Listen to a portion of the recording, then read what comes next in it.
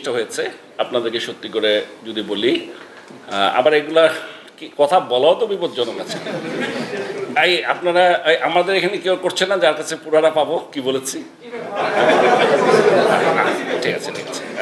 কারণ হঠাৎ করে সেদিন দেখি হ্যাঁ না আমি বলছি হঠাৎ করে সেদিন টিভিতে স্ক্রলে দেখছি ক্যাপ্টেন শান্ত বাদ। কে বলল জালাল ইউনুস। আমি জালাল ভাইলে ফোন করলাম, ভাই, আপনি কী ধরনের মন্তব্য দিলেন? কখন বাদ দিলাম? আমরা তো আলাপই করি নাই। আরে, এত বড় একটা সিদ্ধান্ত আমি জানব না। উনি বলে, আমি বলিই নেই। আমরা এটা কি বলেন? টিভিতে, এটা তো সোশ্যাল মিডিয়া না, টিভিতে স্ক্রলে দিচ্ছে। পরে পুরো ইন্টারভিউটা জালাল ভাই পাঠিয়ে দিলাম এদের কোথাও তো বলেই নেই। মানে আপনি মানে কনফিউশন হয় কি? এখন একটা কথা বলতে গেলে এক এক রকম ইন্টারপ্রিটেশন হয়।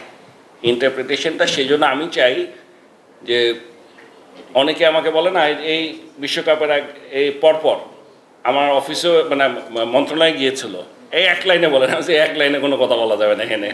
এক লাইনে বললেই বিপদ। এটার এক হাজারটা মিনিং হবে। কাজে আমাকে ভেঙে বলতে হবে। চেষ্টা করতে হবে যে আমাদের, আমার কি মনে হয়? এখন weather it's right or wrong is a different issue বলে কি এসব? এ তো একটা ক্রিকেট প্লেয়ার একটা দেশের রিপ্রেজেন্ট করতে যাচ্ছে, তাকে নিয়ে এইরকম মন্তব্য, ও, ওর ওর কথাটা চিন্তা করেন। ওর খেলা তো দূরে থাকব বাড়ি ফিরবে কেমনে দেশে? মা বাবা ভাই বোনদের কাছে মুখ দেখাবে কেমনে? না না এটা কি ধরনের কথাবার্তা? সো এইগুলো আমি আপনাদেরকে বলে দিচ্ছি। আজকের পর থেকে আমরা বলেছি উই আর মানে আমি আপনাদেরকে আগেই জানাই দিলাম, এইটা আমরা আর বরদাস্ত করব আপনারা অবশ্যই ক্রিটিসাইজ করতে পারেন। কিন্তু পার্সোনাল অ্যাটাক বিশেষ করে প্লেয়ারদেরকে during a world cup match এইগুলোতে আমাদের কাছে মনে হয়েছে মানে এটা সংখ্যা খুবই কম, আমি যাদের কথা বলছি। এরা আসলেই ক্রিকেটকে ভালোবাসে কিনা, না ক্রিকেটকে ধ্বংস করতে চাচ্ছে, এটা নিয়ে আমাদের মনে প্রশ্ন আছে। সমালোচনা হবে ক্রিটিসিজম হবে, মানুষ রাগ করবে উই এগ্রি কিন্তু যে সমস্ত, আমি একটা দেখছি শুধু, একটা দেখে আমার তো নাই I am not in the social media তা আমার ফেসবুক টুইটার কিছু নাই তো, তা আমি এখন একটা দেখে আমার এমন রাগ উঠছে যে আমি কি বলব, আমার অন্যরা পাঠালে আমি খুলিও নাই, বিশ্বাস করেন একটাও খুলি নেই আমি আর শুন, আমার শুনে আমি ভাবছে। সেটাও আমি শুনেছি, সেটা আমি শুনেছি অবশ্য আগেই। হ্যাঁ এটা এটা এটা এটা আসলে আমি আগেই শুনেছি, এটা অস্বীকার করার কোনো পথ নাই। আমি যখন নাকি টিভি খুলে দেখলাম, তাসকিন খেলছে না বেস্ট ইলেভেনে নাই তখনই আমি ফোন করি রাবিদকে। নাই কেন? সো আমি আহ, রাবিদকে ফোন করি। করি না রাবিদ? হ্যাঁ হ্যাঁ আমি স্ট্রেট আমি সোজা সবটা কথা বলি।